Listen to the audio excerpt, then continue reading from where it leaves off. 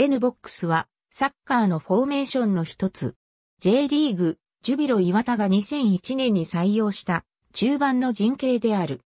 N ボックス2001年にジュビロの鈴木正和監督が採用した中盤の陣形を週刊サッカーマガジンが中心選手だった七海博士のイニシャルから N ボックスと命名した。また中盤の5人の配置がアルファベットの N の字に収まることも理由の一つだったとされる。フォーメーションとしては3から5から2だが、一般的な3から5から2とは中盤の構成が大きく異なる、極めて特殊な3から5から2である。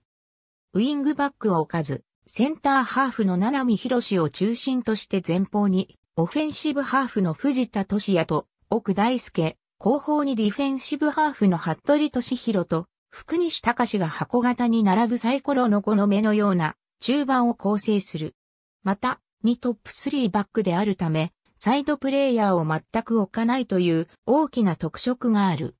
本システムが考案された背景には、2001年に行われる予定だった FIFA クラブ世界選手権2001の存在があるとされる。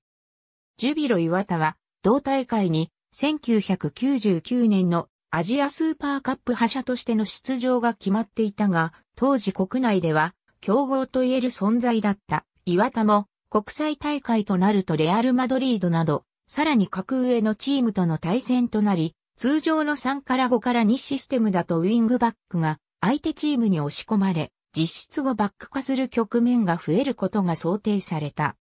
そこで最初からウィングバックを置くのを止め、中盤をコンパクトにまとめることで中央を固めるという戦術が考案され、対戦相手にはサイドにボールを出させてチーム全体で一気にプレッシャーをかけて奪い取る方針とされた。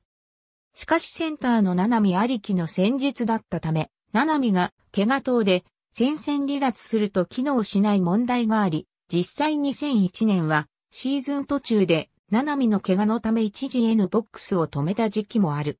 同時期のジュビロの上記5人以外の主な選手としては、らが挙げられる。ありがとうございます。